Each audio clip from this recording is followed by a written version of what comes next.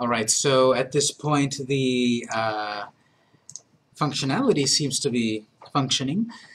And so uh, I can show a class, I can click a pencil, it then fills in the field. Okay, well that class 222 should have actually been, you know, uh, English 101, this instructor Smith, and I can edit it. So then it fills it in. This then comes back into the issue that I said previously. Technically, we have something here. If you notice, okay, class 777. Class 777, uh, that should have been 77X.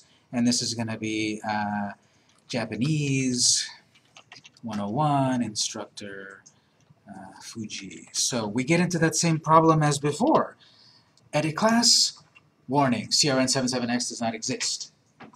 So just because we put that field in there doesn't mean we're editing what we think we are. Now that we're changing it, now we have a completely different ID. So there's several ways to handle this. One way is another data checking. If I'm if the person is trying to change that uh, that data, we need to run extra if-else checks. If the uh, ID in question is different from the one currently being edited, what we would need to do is to create a brand new item in the database. We cannot change the IDs, really. So we'd have to, behind the scenes, create a brand new, we'd have to do db.put to create a brand new record in the database, and then delete the old record, and the new record is the one that takes over. So that's one way to do it. Here's a much easier way. Let's go back to our code. Let's go up to our line where we've got uh, the input field at about line 139 or so, where we've got the edit CRN.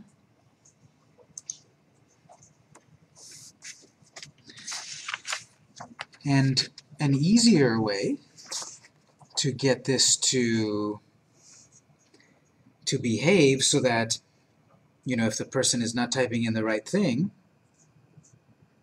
we have we add here one more attribute disabled this is kind of an odd one it doesn't need technically it's disabled equals disabled or maybe disabled equals true but disabled here notice it's just an attribute kind of floating all by itself this solution, what it does is I've got show classes, edit a class, and now that is not editable. Can't change it. You can't break it. That's not the best solution. Perhaps we do want them to fix it with the right with the right value here. That's fine for the moment. So this is the it's programming by least effort, but it still it still works. Now there's a way that people can edit that. That's the name of the ID. So if they, obviously, yes, if they did completely mess this up, that should have been 227. Yes, they will have to delete 222 and input it again properly. And if we have time, because we've still got other things to worry about, if we have time, we can do, we can implement what I was saying that we'd have to check doesn't exist, we need to create a new one, then delete the old one, and the new one takes over, all behind the scenes. So we might do it later, but for the moment this is enough. We can no longer change it and break it. I was doing disabled.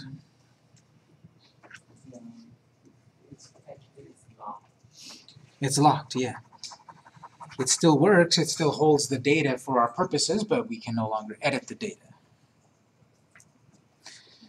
So we've got a way to, we've created a database very early on, we added data, showed data, deleted data, edited data. Maybe we want to start all over completely, delete the whole thing. It's a new semester or something, I want to start over, start with a brand new set of classes and such. So let's look at how to delete the, the whole thing. Now, obviously that's a big thing. We're going to delete all our data. So we should definitely have some, some uh, confirmations. We're going to ask the user, are you sure you want to delete everything? And if true, then yeah, delete everything. Maybe a couple of are you sure's, because it's going to be really, really permanent to delete all the data. Later on, much later on, if we have time, we could set this up to actually export the data, to send it as an email to someone. when we get it back into our Cordova project. We're going to talk about a plugin that will let us send an email or send data outside of our app. This is different than the database replication. We'll be able to send uh, something out of our app. That'll be later. For the moment, let's talk about deleting. We need some sort of button, some sort of functionality to be able to, to delete everything. So we'll back up to the portion where we created these fields. Oh, we're in the right area actually. So where, where you added disabled, we're then going to add a new line after that to add more to our string. We've got the part where we created the table, the part where we created the edit field, where we've created the edit or update fields. We're going to create a delete the whole database area. And for the moment, it'll look very basic and not that nice. And then later on in jQuery Mobile, we can make it look nice. Three horizontal rulers just to separate it, separate everything out. And then our real code here. Just a simple button to delete everything. Uh, so we'll have um, input type button, single quotes, uh, value of the text, delete classes, and then an ID, so we can use jQuery. It's a good name to delineate in our code that we're going to delete it all, that we're going to get rid of it all. btn nuke. We're going to get rid of the whole thing. We then need to create an event handler for that. Um, on click btn nuke, we're going to run a function to delete the whole database.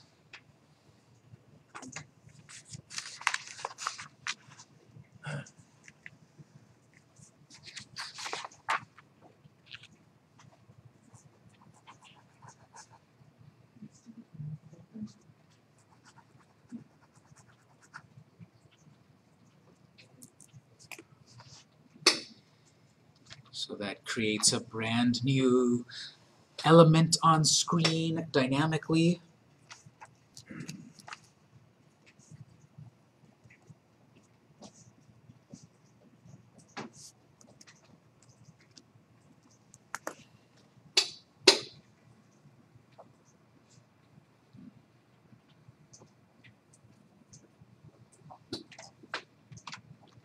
We need to back up to our area where we're defining all of these event handlers. So after the last one, that's fine. We'll have um, the same thing as before. We need to target the element that does exist before we can target the element that doesn't. And this one, this one will be uh, simpler than the last one. We're not going to need to pass data into it, so we don't need to do the anonymous function. So back at about line 50 or so, we've got, again, the click event, further specifying the element of pound btn nuke, comma, the function fn nuke. We don't need any fancy arguments, so we can just do that. And we'll go back to the bottom to start to specify, to define that function.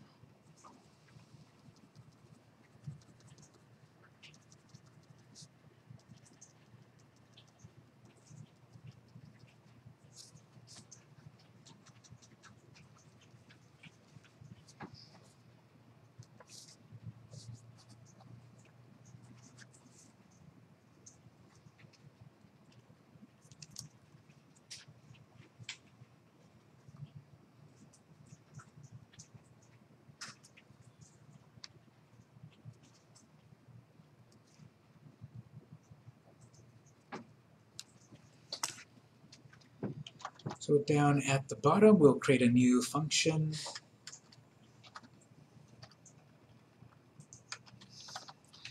Function fn nuke parentheses curly braces, this is and function nuke.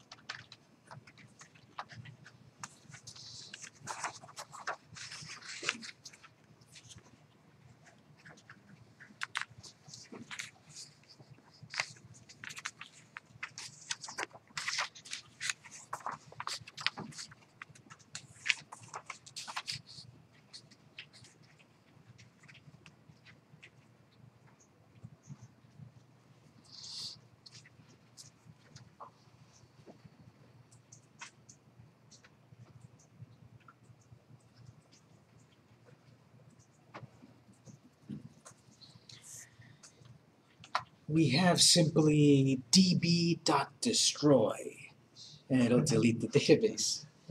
So that will delete the database, but that obviously deletes the database. So we want to do some sort of conditional statement. We can do if-else um, or other methods. Let's do a switch. So we'll start a switch, conditional statement do here. Confirmation before deleting the database.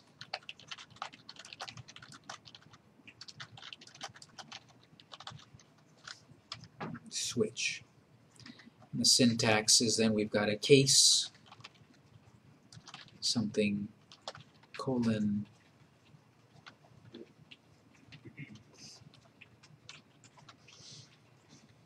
which breaks, so that's a unit Yes. Swathe. Yes, there we go, switch. Thank you. Then we've got another case. Oh, Why, Something happens in this block. Break. We can have as many cases as we want, and we often end with a default case.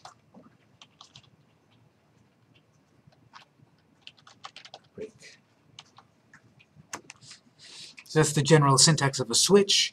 It's very useful for uh, testing multiple known quantities. If-else, the basic of if-else is two possibilities. We can have if-else and then else-if, sure. But um, here is a way to test multiple possibilities that I know about. If I don't know a, a certain possibility, then we have default, where we can then define, figure out how to define other possibilities. And the syntax got break. So after we check our first case, and if that's the case in question, we break. We then don't do the following. One possible reason to do it this way is because we can put the most likely result first. Then it's done. It no longer process, processes the rest of the code.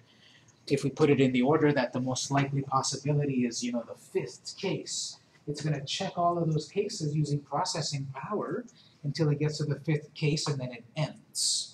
So try to put your most likely case, your most likely scenario as the first case, and then it stops processing.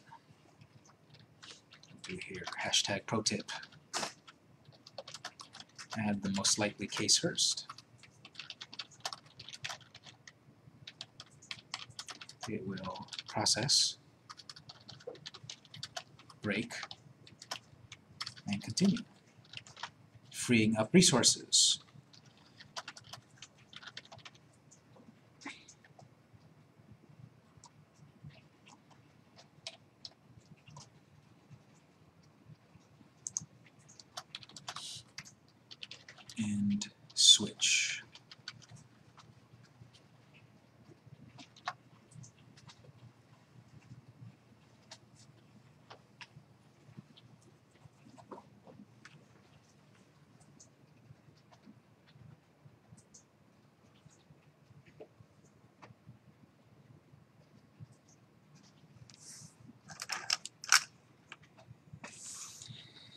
Our switch then is some sort of condition. We have the built-in plain old JavaScript method of confirm.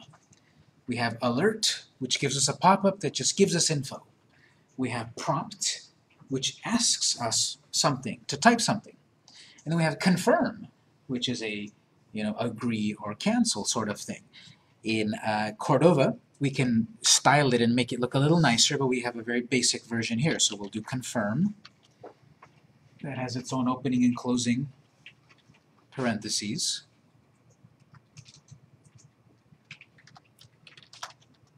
Confirm asks for user to agree or not. So confirm. And then we put a, a message here. What are we what are we asking or, or telling them? So we can say something like, uh, you're about to delete everything. Confirm. Delete all your data. Oops, this should be in quotes. This is a string, so in quotes, you're about to delete all your data. Backslash n for a new line, confirm.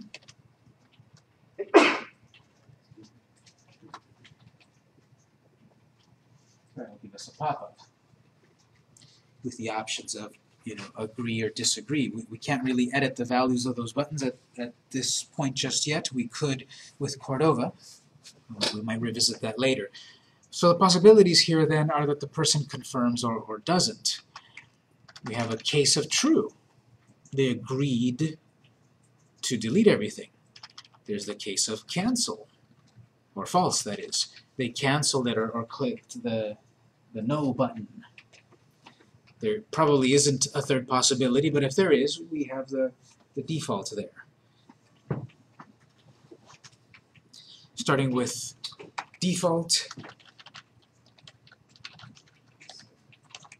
give us some user output. Third choice was made. We need to then further set up some code to troubleshoot that to kind of figure out what might have been a third possibility. In the case of false, uh, no feedback to the user is necessary here. They're about to delete the database, they're like, never mind, and they cancel. So to the user, nothing, nothing happens. But to us, then we can just give ourselves a note that user canceled. We could have something that appears on screen that says, you know, thank you for not deleting, something. But in our case, we'll just make it super simple that nothing happens if they cancel. For the moment, we'll do a console output here, and then we'll make it do the real thing in a moment. Which will say user is trying to delete. Trying to nuke. Save it and run it just to kind of make sure this is working, and then we'll make it work for real. Question? So in confirm uh, yes, uh, well, not HTML, JavaScript. JavaScript. Confirm is a plain old built-in JavaScript command. We'll, we'll see right now. Once we run it, we will see the possibilities. Let's give this a try. Save that, run it. Show your classes. That's where your delete button is at, your nuke button. Um, click the button and you should get the confirm pop-up. Try click and then check your console and try playing with the possibilities and see what you get in your console. In my example, if I show classes, I have delete classes, click that, there's a pop-up. This page says, you're about to delete all your data. Confirm. So confirm has the possibilities of OK and cancel. And what happens is if I click cancel, that then returned true, or that returned false. My confirmation was false. So I've run into the user canceled, if it's spelled right, canceled. It runs into the canceled case, the false case. If I try to delete again, and this time say OK, it runs into the user is trying to nuke. User is has selected true. So confirm has built in true and false. I don't think we can make a default. Now we do have a little X here. In my case, I've got OK, true, cancel, false, and X. Clicking X in this case is the same as canceled. But if there were a third way, a third possible error, because again, I've said before, it's hard to make foolproof software because there's so many ingenious fools. So we weren't able to, I wasn't able at the moment to create the default condition. But if there was a third condition, we would we would hear about it in the console.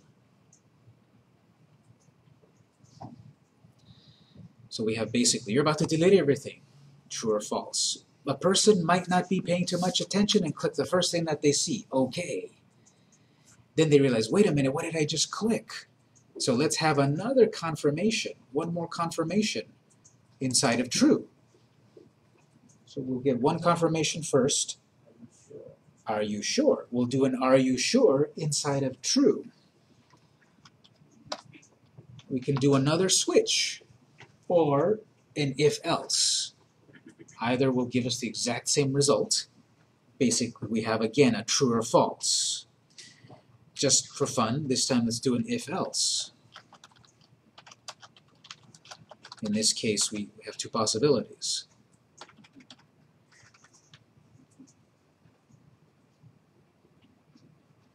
with another confirm.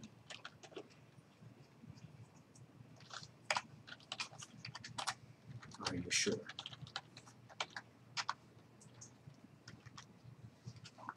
In this case, the true part uh, is if, and the else is, is, is canceled. Just to see it again here they really want to delete. Console. They change their mind.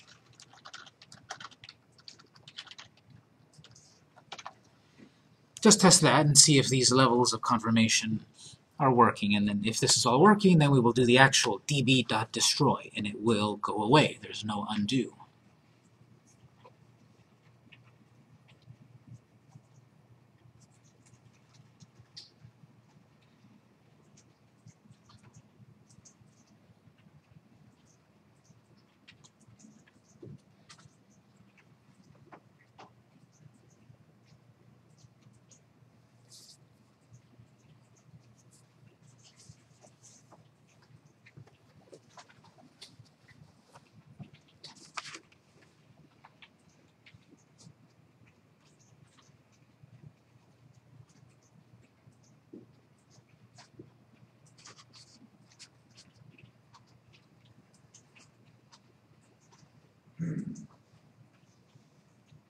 The con if console um consoles are not in if it can be a semicolon, right? It's like a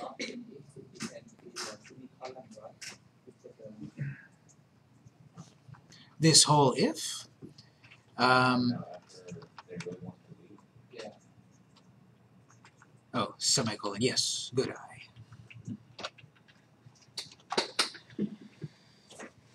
So,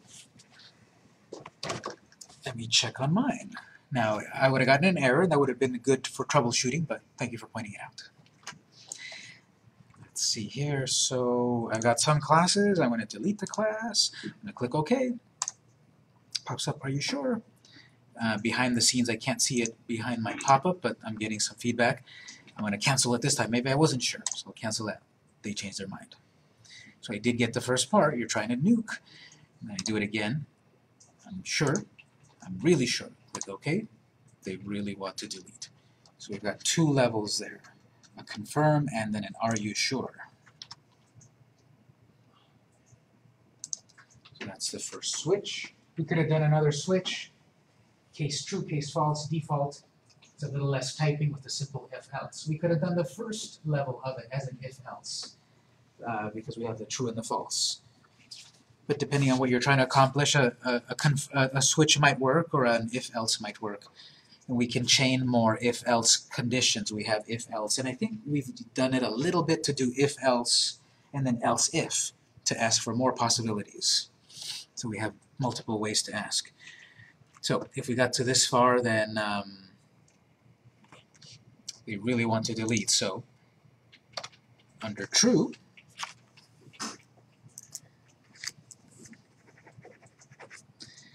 our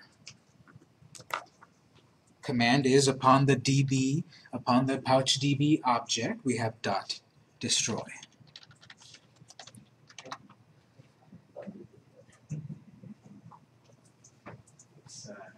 Creatively named. It has a lot of finality to it. So here, what we get is um, here um,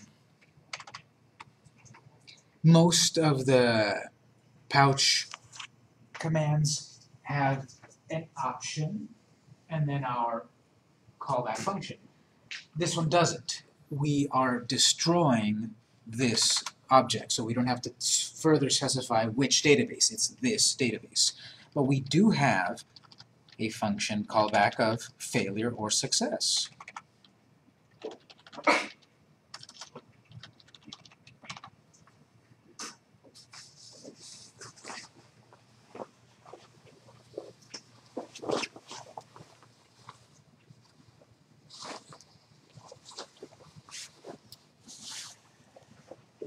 This failure success, and then we should then deal with the if else failure success. So we'll break that curly brace.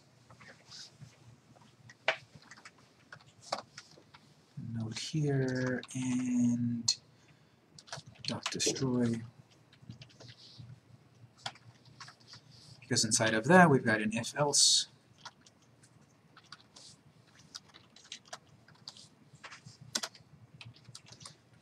And what's that? I can't quite hear you. What's that?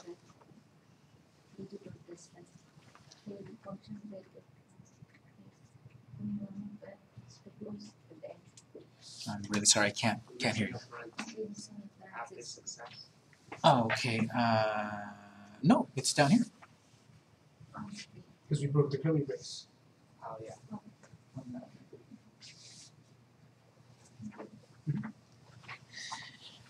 So then here on if else, this is our end if else for dot destroy.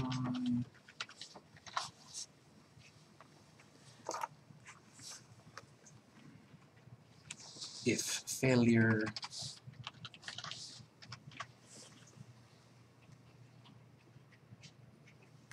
we want to see in the console what that is. To the user an alert. Error. Contact the developer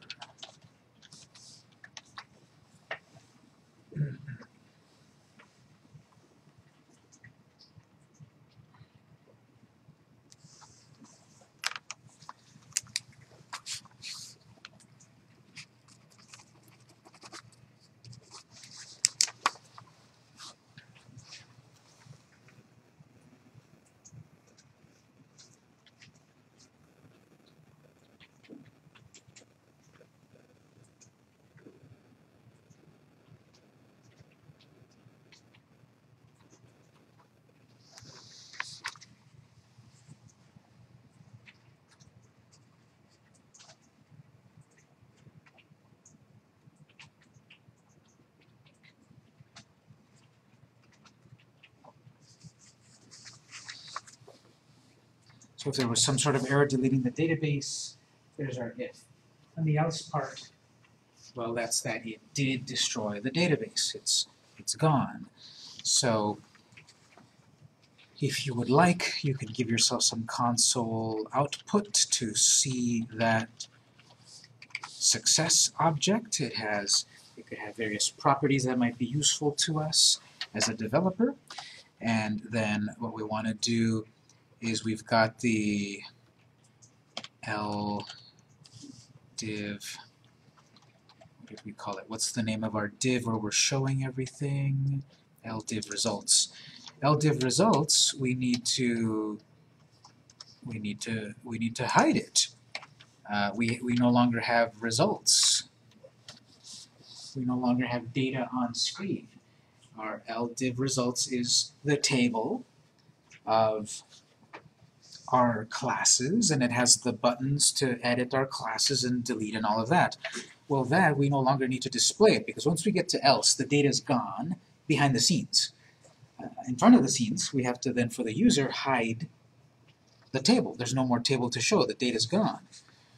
So we have a way to fade the table out. But as we had before, when we want to fade the table in, we have to kind of think backwards. So first we have to make sure that we've shown the table, and then we can do a dot fade out. Really slow, uh, four seconds. You can see their data melting away to the depths. So we're saying to that to that uh, to that div, we have to first show it so that then we can fade it out in four seconds. What we also need to do is reinitialize the database, the whole PouchDB system. We've deleted the database. There's no more database for us to start to put data. We have a function, remember? initdb. I believe is what we called it. And that starts the database all over again. Yes.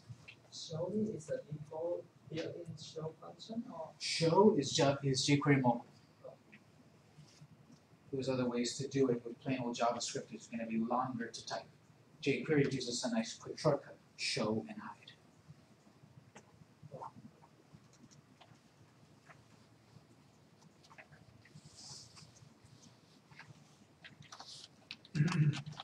Database is gone. Fade out the table. Fade out the empty table.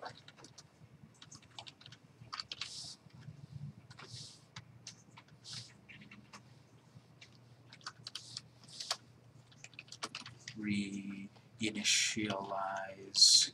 Initi initialize. Reinitialize the pouch DB database anew.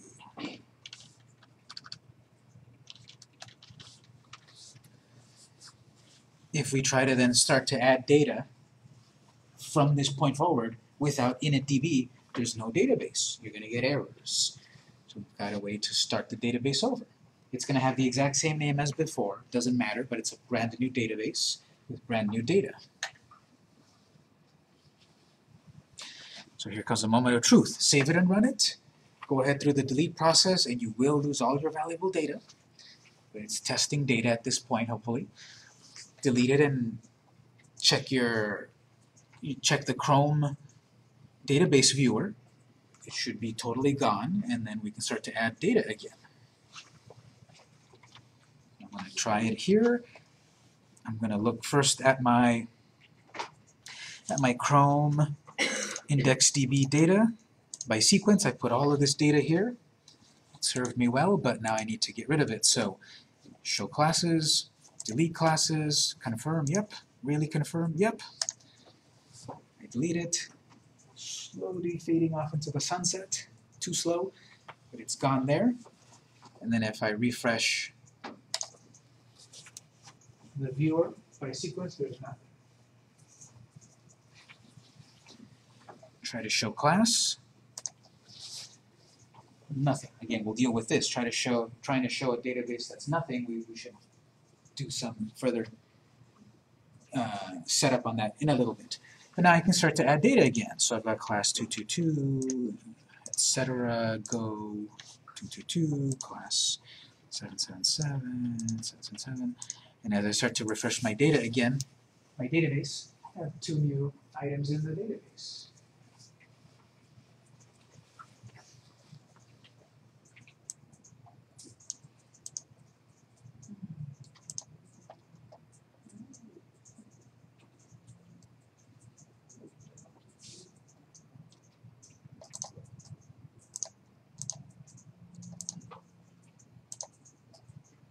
Now also when I was deleting the databases, if I was going through that process, users trying to nuke, they really want to delete, I did finally do a confirm and I got OK true and then my database is reinitialized empty. And then I'm starting to add data to the database. Do that again, so confirm all of that, deleted, object OK true. It's gone show classes, no classes to show.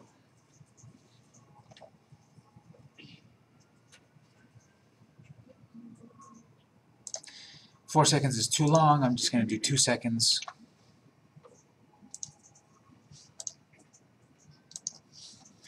Let's pause there. Did everyone get uh, something like that working? Your database is deleted and we're starting over.